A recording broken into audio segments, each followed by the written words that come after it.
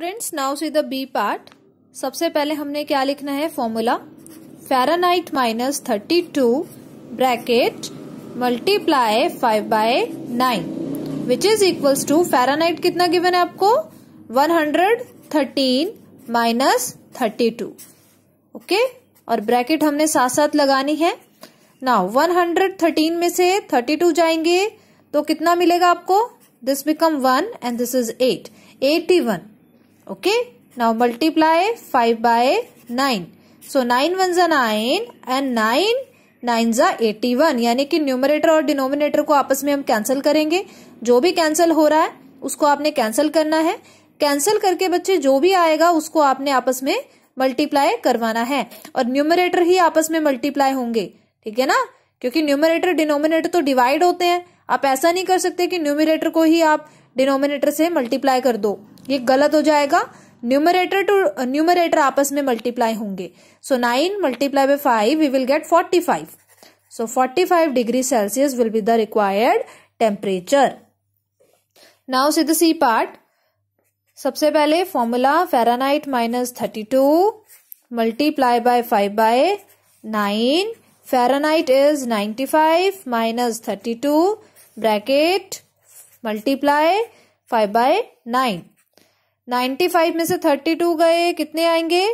If I minus five minus two this is three and nine में से three गए it become six ठीक है तो सिक्सटी सिक्सटी थ्री आता है multiply five by nine so nine one जा नाइन एंड नाइन सेवन जा sixty three so seven into five it become thirty five degree Celsius ठीक है? तो आप देख सकते हैं किस तरह से मैंने फेरानाइट में से माइनस किया, जो आया उसको फिर फाइव बाय नाइन से इसको भी कैंसिल आउट किया, ठीक है? और जो भी आएगा, वो आपका रिक्वायर्ड आंसर होगा।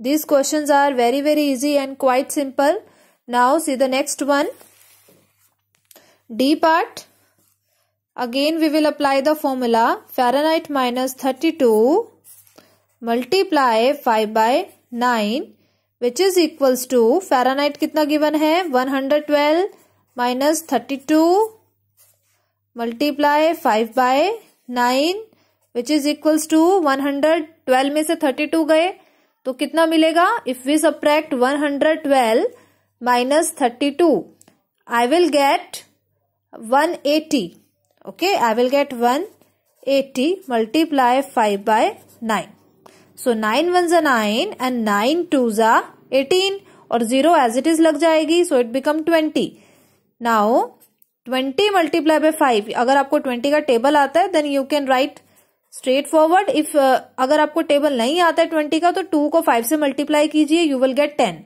और ज़ीरो जो है बच्चे, वो एज इट इज़ लग जाएगी. ठीक है? तो ये हंड्रेड बन गया. So hundred degree Celsius will be the required temperature for this question Okay, now see the E part. Fahrenheit minus 32 multiply 5 by 9 which is equals to Fahrenheit is 32.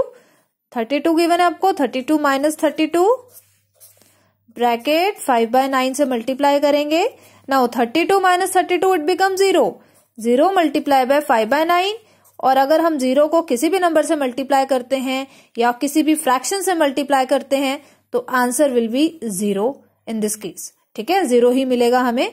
So zero degree Celsius will be the required temperature so student I hope आपको ये question बहुत अच्छे से clear है।